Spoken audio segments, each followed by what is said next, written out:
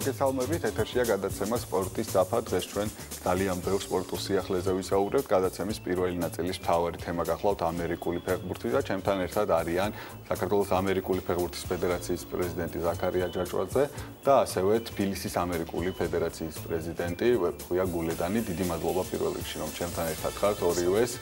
პირველი კითხვა მინდა დაგისვათ ასეთი უკვე საკმაოდ დიდი ხანია არსებობს თქვენი ფედერაცია 6 წელია რაც მოღვაწეობთ და აქამდე არ გამართულა საქართველოს ჩემპიონატი, შიდა ჩემპიონატს გულისხმობ.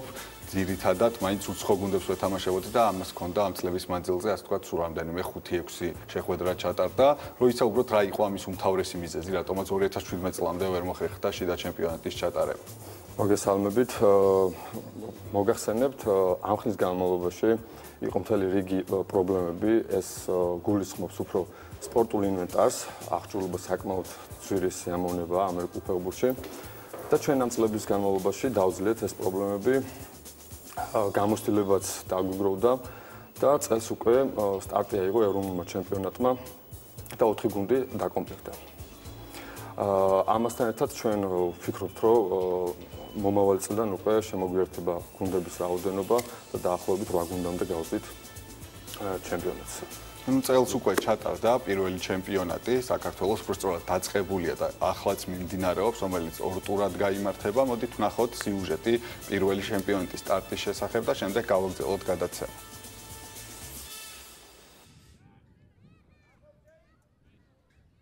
საქართველოსი ამერიკული ფეხბურთის ფედერაცია დაახლოებით 6 წლის წინ ჩამოყალიბდა, თუმცა საერთაშორისო ფედერაციისა და სპორტისა და ახალგაზრდობის სამინისტროს მხრიდან აღიარება მხოლოდ 2 წლის წინ მიიღო. ამავე პერიოდში შედგა პირველი პროფესიონალური მატჩი, რომელშიც ორივე გუნდს სრული ეკიპირება ჰქონდა. შეხვედრას შევარდენის სარაგბო ბაზა მომასპინძლა. ამ პერიოდის განმავლობაში ქართულმა ფეხბურთელებმა გამართეს მატჩები ამერიკის საზღვაო ფლოტთან. რუსეთის კლუბ სტავროპოლთან, თურქულ წითელ ირმებთან. რიგი მიზეზების გამო 2017 წლამდე საქართველოში შიდა ჩემპიონატის ორგანიზება ვერ მოხერხდა. 2017 წლის 10 ივნისი ქართული ამერიკული ფეხბურთისტვის ისტორიული გამოდგა. სწორედ ამ დღეს აიღო სტარტი საქართველოს პირველმა ეროვნულმა ჩემპიონატმა. ტურნირში მონაწილეობას 4 გუნდი იღებს. თბილისის კრუსეიდერსთან ერთად ჩემპიონის პირველი ტიტულისთვის მცხეთის იბერია ქუთაისის ლომები და რუსთავის სტილერსი იბრძვიან. თბილისის ჯვაროსნებმა პირველ ტურში რუსთავის სტილერსს უმასპინძლეს და დაძაბულ ბრძოლაში სძლიეს მეტოქეს 26. პირველი სათამაშო დღის მეორე შეხვედრაც საინტერესო და სანახაობრივი გამოდგა. ქუთაისის ლომებმა გასვლაზე მცხეთის იბერია დაამარცხეს ანგარიშით 0-10. მეორე ტურში, რომელიც 17 და 18 ივნისს გამართა, ქუთაისის ლომებმა შინ ჯვაროსნები დაამარცხეს, ხოლო სტილერსმა ასევე შინ რუსთავში მცხეთის იბერიას წინააღმდეგ იზეიმა პირველი გამარჯვება. ჩემპიონატის მესამე ტური 24 ივნისს გამართება. ეს ერთ-ერთი ახალი სახეობაა, რომელიც საქართველოს იმკვიდრებს თავს.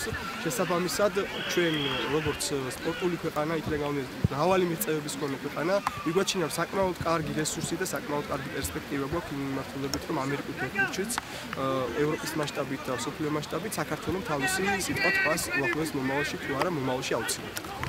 ტურნირის დაწყებას ასევე დადებითად ეხმაურება ქუთაისის ლომების წარმომადგენელი, თუმცა ის გარკვეულ პრობლემებზეც საუბრობს. პირველ რიგში ძალზე სასიამოვნო არის ის ფაქტი, რომ წელს უკვე პირველად იმართება ეროვნული ჩემპიონატი, რაც ისტორიული ფაქტი არის და მე პირადად ძალიან მიხარია და მოხარული ვარ. მინდა ეს ძალიან მიულოცო საქართველოს და აგრეთვე ქუთაის ეს შედეგი და იმედი მექნება და ვიმედოვნებ, რომ თვითონ ქუთაისის ხელმძღვანელობა ყურადღებას მოგვაქცევს ელემენტარულს ვითხოვ ჩვენ. არა გვაქვს რაღაც გართულებები, სერიოზული ფინანსური მოთხოვნები და ამისთვის გვჭირდება უბრალოდ ვერჩი დგომა რა. ამერიკული ფეხბურთის ფედერაცია მხოლოდ 6 წელია არსებობს. ოფიციალური სტატუსი მეორე სეზონია აქვს. ამერიკულ ფეხბურთში წვრთნის პროცესში ახლა 4 გუნდია ჩართული. მომავალ წელს მათი რაოდენობის გაორმაგებას ვარაუდობენ. დავბრუნდით ეთერში ვებქვია შემდეგ კითხვა მინდა დაგისვა. უშუალოდ ამ ჩემპიონატთან დაკავშირებით რომელსაც 10 ივნისს აიღო სტარტი რამდენი გუნდი მონაწილეობს უკვე გავიგეთ სიუჟეტიდან თუმცა ბევრი სხვა საინტერესო დეტალიც არის რაც მაყურებელს აინტერესებს თვითონ უშუალოდ ტურნირთან დაკავშირებით. პირველ რიგში მიმესალმები მაყურებელს მადლობა მოწვევისთვის რაც შეეხება უშუალოდ ჩემპიონატს, რომელიც წელს საქართველოს პირველად ტარდება ეროვნულ ჩემპიონატს, როგორც უკვე ვახსენეთ, 4 გუნდი ღებულობს მონაწილეობას, მე მაინც დავკონკრეტდები და ვიტყვი, რომ ეს არის თბილისის ერთ-ერთი კლუბი, კრუსაიდერსი ეგრეთ წოდებული, ჯვაროსნები, რუსთავის თილერსი, ანუ მეტალები, ცხეთის იბერია და ეს არის ქუთაისის ლომები. ეს ჩემპიონატი ტარდება წელს როგორც ვთქვი პირველად და წინ უსწრებდა ძალიან ბევრი ისეთი მოვლენა რომ ან თავის სირთულეები ახლა არასაკვირველი არ არის ადვილი. თქვენ უკვე ახსენეთ რომ 6 წელი არსებობს ამერიკული ფეხბურთის ფედერაცია მაგრამ ამ 6 წლის მანძილზე ვერ მოხერხდა ჩემპიონატის ჩატარება. ასევე აღნიშნოთ ის ფაქტიც რომ 2 წელი არაც ეროვნული ასე ვთქვათ ფედერაციის სტატუსი მიიღეთ ჩვენ საქართველოს ამერიკულმა ფეხბურთმა ასევე ამ პერიოდში მიიღეთ სოფლიო ფედერაციის წევრობის სტატუსი და წელს გადაიდგა ეს მეტად მნიშვნელოვანი სტრატეგიული ნაბიჯი, როგორც არის ეროვნული ჩემპიონატი, რომელიც შესაბამისად საწყისი არის ეროვნული ნაკრების ჩამოყალიბებისა. რაც შეეხებოდა თქვენს კითხვას, ანუ აქამდე რატომ არ ჩატარდა, როგორც უკვე თქვი, სირთულეები არსებობდა, რასაკვირველია ჩვენ ძალიან შორს წაგვიყვანს უშუალო დეტალებზე საუბარი, აქ ძირითადი პრობლემას წარმოადგენდა ეკიპირება, ასე ვთქვათ, ინვენტარით მატერიალურ-ტექნიკური ბაზის არარსებობა, რომელიც აუცილებელია ნებისმიერ სპორტული სახეობისთვის და მათ შორის ამერიკული ფეხბურთისთვის და უმეტეს გუნდური სახეობისთვის. შესაბამისად ჩვენც ამ პრობლემის წინაშე ვიდექით, თუმცა ეს პრობლემა გადაწყდა გარკვეულწილად ამისთვის დიდი მადლობა მინდა თბილისის დედაქალაქის მერიას გამომთხრა ერთ-ერთი თანადგომისთვის, იქიდან გამომდინარე რომ მათი მხრიდან გამოიყო სუბსიდირება და აღნიშნულ სიუჟეტში რაც თქვენ ჩვენ უკვე ნახეთ სიუჟეტის მსვლელობისა ჩვენ დავინახეთ ეკიპირებით აღჭურვილი პროფესიონალი თამაში. ჩვენ თამაშობდით ასე ვთქვათ flag demo ვერსიას, რომელიც საწყისი არის ამერიკული ფეხბურთის არა არა კონტაქტური სახეობა არა კონტაქტური არის შესაბამისად არ რეკპირებით აღჭურვილი არ არის ეს სპორტის სახეობა აა ფლაგი და ასე გაქონდა ამ პერიოდის მანძილზე თავი. თუმცა პირველი გუნდის აღჭურვა როგორც კი მოხდა, ეს იყო ძალიან კარგი და დიდი სტიმული თვითონ მოთამაშეებისთვისაც, იმიტომ რომ პირგან ერთ-ერთი საფუძველი ჩაეყარა თბილისში ამ მიმართულება, შემდგომში მოხდა უკვე ნენელა დაინტერესება ქუთაისის, რუსთავის, ცხეთის იბერის ამ მიმართულებით მუშაობა კვლავ მიმდინარეობს, რასაკვირველია, ჩვენ მომავალში გეგმავთ რომ ჩემპიონატი ჩავატაროთ როგორც უკვე ზაქარია მარნიშნა, რვა გუნდი იანი შემადგენლობთ ეს ჩვენი მინიმალური ესე თქვა სტანდარტია, რომელსაც გსურს რომ მივახციოთ და გეგმავთ ამაზე მუშაობას, ასაკვირველია და ვფიქრობთ რომ ასე თქვა ეროვნული ჩემპიონატი ერთ-ერთი ასე თქვა მასტიმულირებელი იქნება სხვა ისეთი ქალაქებისთვის, როგორიც არის მაგალითად ბათუმი, რომელშიც ჩვენ გუნდი შევქმნით და დიდი პრობლემების გამო რაც ჩვენ გქონდა, ასე ვთქვათ, სხვა გუნდებთან მათ მინიმალური ეკიპირებით აღჭურვა ვერ მოხერხდა და დაიშალა. დროებით რასაკვირველია და მათთან ამ გუნდთან და ამ ბიჭებთან მიმდინარეობს კონსულტაციები, ასევე სახელმწიფო სექტორთან რომ ჩვენ მივიღოთ დამატებით სუბსიდირება. 2017 წელს ვერ მოხერხდა გარკვეულწილად სრული პაკეტით, ასე ვთქვათ, სახელმწიფოს მხრიდან დაფინანსება, მაგრამ ნუ ასე ვთქვათ, სპორტის სამინისტრომ გამოიჩინა მაინც ყურადღება და ეროვნული ჩემპიონატი მინიმალურ თანხებში დააფინანსა კონკრეტული თანხების დასახელება ხელებისგან თავს შევიკავებ და 2018 წელს ძალიან დიდი იმედი გვაქვს რომ ჩვენი ასე ვთქვათ პროგრამა მინიმალური რაცაც წარმოადგენთ იქნება დაფინანსებული რაც შემდგომში ძალიან ბევრი კარგი პოზიტიური ნაბიჯების გადადგმის საწინდარი იქნება და მოხდება ისეთი ასე ვთქვათ წინსვლა რომელსაც ჩვენ თვითონ გეგმავთ უკვე და წლებია ველოდებით ამ წინსვლას. ზაქარია უშუალოდ ტურნირის სპორტულ ფორმატზე მინდა კითხო რა ფორმატით მიმდინარეობს შიდა ჩემპიონატი ვინაიდან 4 გუნდია სულ და ეს რა თქმა უნდა როგორც თქვენ თვითონ თქვით არ არის საკმარისი რაოდენობა სასრულია თუ მინიმუმ 8 გუნდი იასპარეზებს წელს რა ფორმატით ტარდება შიდა ჩემპიონატი და სხვა ტურნირის სხვა რიგებება რამე წლის მანძილზე? მოგახსენებ ჩემპიონატი დაიგეგმა ორ ტურად. ესე ვთქვათ ორი წრი არის ყველა ერთმანეთს ეთამაშება და შემდეგი წრე გამართება სექტემბერში. ეხლა 24-ში იქნება პირველი წრის დასკვნითი თამაში და უკვე ფინალური თამაშები იქნება მეორე წრის მეორე წრეში ვეფხვია მინდა კითხო საერთაშორისო ფედერაციის მხრიდან დაინტერესებაზე რა მიდგომაა მათი მხრიდან საქართველოსადმი რამხელა არის დაინტერესება და როგორც ვიცი ჩამოსულებიც ბზანდებოდნენ იქიდან საკმაოდ სერიოზული წარმომადგენლები და რასთან დაკავშირებით იყო საუბარი მათ. პირველ რიგში მინდა აღვნიშნო ის ფაქტი რომ ამერიკული ფეხბურთი ზოგადად როგორც საქართველოსში ზარდი ტენდენციით ვითარდება და ტემპი ამ მიმართულებით დადებითი არის მსოფლიოს მასშტაბითაც ამერიკული ფეხბურთის პოპულარიზაცია ნენელა მიმდინარეობს და სპორტის ესახეობა იყიდებს ასე ვთქვათ სხვა განვითარებად თუ განვითარებულ ქვეყნებშიც ფეხს ესე ვთქვათ, თუმცა ევროპაში უკვე საკმაოდ ძლავრად არის ეს სიტუაცია ჩამოყალიბებული, მათ შორის ინგლისი, გერმანია, საფრანგეთი და შემდეგ არ გავგრძელდები ამ ქვეყნების ჩამოთვლას. როგორც უკვე წეღან აუხშნის საუბრისას ერთი წელწადახევარია რა ჩვენ მიგვიღეს ასე ვთქვათ ოფიციალურ ფედერაციაში და წევრი სახელმწიფო გავხდით საქართველოს.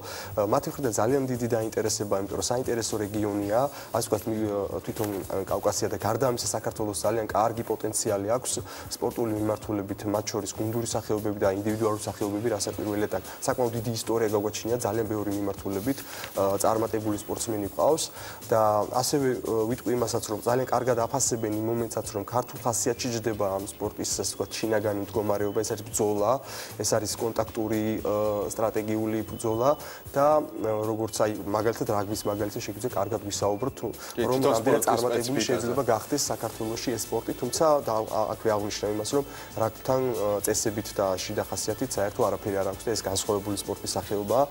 და რაც შეეხება მათ ჩამოსვლას უკვე როგორც თქვენ აღნიშნეთ ამ ყველაფერმა განაპირობა ის რომ ისინი დაინტერესდნენ საქართველოსი ჩვენ მხრიდანაც იყო რასაკვირველია გარკვეული სამუშაოები ჩატარებული ჩვენ ახალგაზრდა გუნდი გახლავართ კონტაქტობთ მათთან ძალიან მჭიდრო ურთიერთობა გაგვაჩნია და დაინტერესება შესაბამისად იყო. ჩამოგზავნდნენ გახდათ სოფლიო ფედერაციის პრეზიდენტი ტომ ვაიკინგი ჩამოსულდა ვიცე-პრეზიდენტი შაჰინ კომუჩუ რომელმაც საკმაოდ ასე ვთქვათ კარგად დადებითად შეაფასეს ის მოკლე პერიოდი რა მოკლე პერიოდშიც ამერიკული ფეხბურთის ასე ვთქვათ აღმოცენების პროცესი დაწყებულია საქართველოში და მათი მხრიდან შეფასდა ეს დადებითად ასევე ითქვა კონკრეტული მხარდაჭერის ასე ვთქვათ გამოხატველი სიტყვები ძირთადად ეს აისახებოდა საერთაშორისო ჩემპიონატებთან მიმართებაში ბავშვთა ლიგებთან მიმართებაში სამწუხარო გადამზადებასთან მიმართებაში რეგიონში საქართველოს გაძლიერებასთან მიმართებაში მოგეხსენებათ ჩვენ ყავს მეზობლები სომხეთი, აზერბაიჯანი, რუსეთი, თურქეთი. თურქეთში საკმაოდ ძლავრად არის ეს სპორტი. სომხეთში არის სამი კლუბი და ფედერაცია არ არის ჩამოყალიბებული და ამაში თანადგომაც გთხოვეს ერთგვარ თქვენი გამოცდილება იქნება გაზიარებული იყოს კოლეგებთან მიმართებაში. ასევე აზერბაიჯანში არის სამი კლუბი და ფედერაცია ჩამოყალიბებულია და თვლია რომ როგორც საქართველოს ამიერკავკასიაში მოწინავე სახელმწიფო დემოკრატიული თვალსაზრისით და განვითარების თვალსაზრისით ერთ-ერთი პოტენციური ქვეყანა რომელშიც ამ მიმართულებით ინვესტიცია მათი მხრიდან უნდა ჩაიდოს როგორც მატერიალურ-ტექნიკური, ასევე გონიურული ინვესტიცია და ამას ველოდებით მათი მხრიდან ეხლა სექტემბერში არის საერთაშორისო სამიტი, სადაც გაჟღერდება კიდევ ერთხელ საქართველოს არსებული მდგომარეობა, იმიტომ ჩვენ ვითხოვეთ რომ თუ შეიძლება როგორც ახალმა ქვეყანამ გავაცოთ ეს სოფლიოს ჩვენი არსებული სიტუაცია და არსებული მდგომარეობა ჩვენს ქვეყანაში. და ვფიქრობ რომ ეს საკმაოდ მნიშვნელოვანია რომ როგორც ნებისმიერ მიმართულებით ქვეყანამ განვითარდეს ისევე ამ ამერიკული ფეხბურთის მიმართულებით და სოფლიოს საზოგადოებას ამერიკული ფეხბურთის საზოგადოებას ჩვენი ქვეყანა გავაცნოთ და გასაკვირველია ჩვენ ილუზიებში არ ვართ და უახლოეს მიმავალში ჩვენ შეიძლება ვერ მივაღწიოთ რაღაც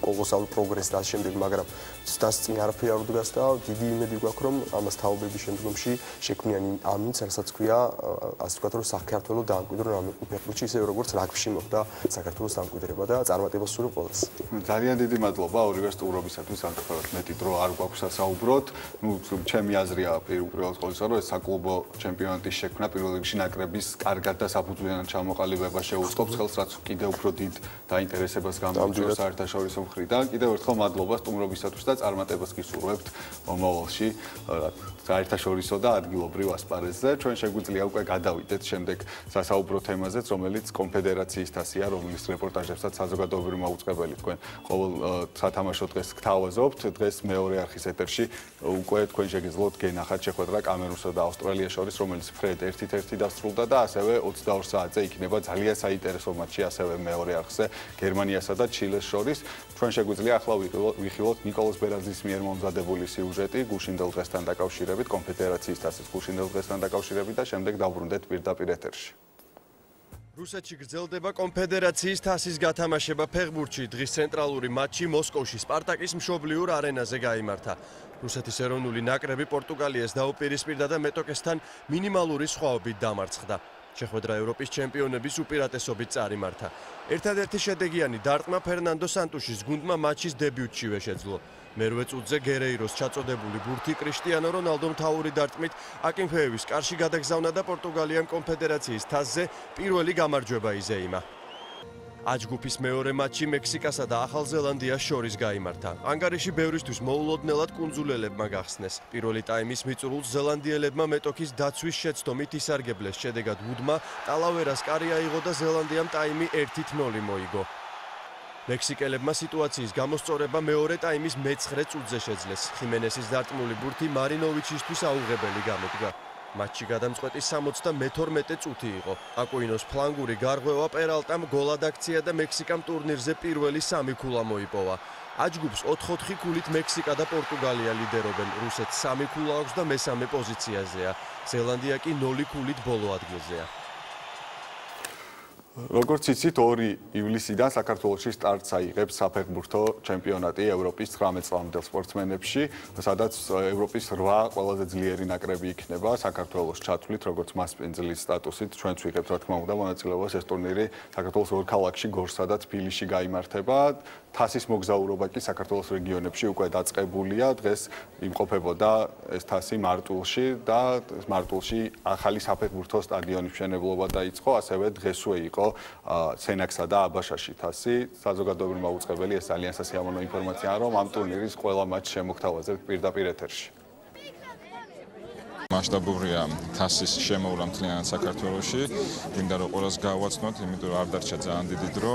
2 ივლისს იწყება ეს დიდი ჩემპიონატი და იმედი გვაქვს და მე პირადად დარწმუნებული ვარ, როგორც ერთში და როგორც ყოფილი ფეხბურთელი, რომ დიდი წარმატებას მივაღწევთ ამ ჩემპიონატზე. როგორც ყველა სოფელში ერთი დანგრეული შენობა იყო, რომელიც ფაქტიურად განწერული იყო და სანგრევაც, მაგრამ ჩვენი ინიციატივით მოხდა მისი აღდგენა, ჩაიდო გამგეო ობის მიერ თავიდან 183000 ლარი გადავხურეთ შენობა და შემდეგ მოყვა უდიდეს უღრმესი მადლობა ინფრასტრუქტურის წინახელისუფლებას ეხლანდელ ხელმძღვანელებს რომ მათი დაფინანსებით და მათი დახმარებით მოხდა შემდეგ რაც მოხდა და რასაც უყურებთ საქართველოსში ასევე 8 აგვისტო და 20 აგვისტოს ჩათვლით გამართება ხელბურთის სოფლიო ჩემპიონატი, რომელშიც 24 გუნდი მიიღებს მონაწილეობას. საქართველოსში იმყოფებოდა დასკვნითი საინსპექციო კომისია საერთაშორისო ფედერაციიდან და ჩვენ ჯგუფში იქნებიან გერმანიის, ისლანდიის, იაპონიის, ალჟირისა და ჩილეს გუნდები. საქართველოს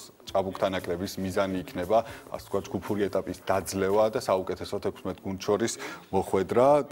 სოფლიო ხელბურთის მაღალჩინოსნებიც რა თქმა უნდა დაესწრებიან უშუალოდ ამ ძალიან მნიშვნელოვან ტურნირს.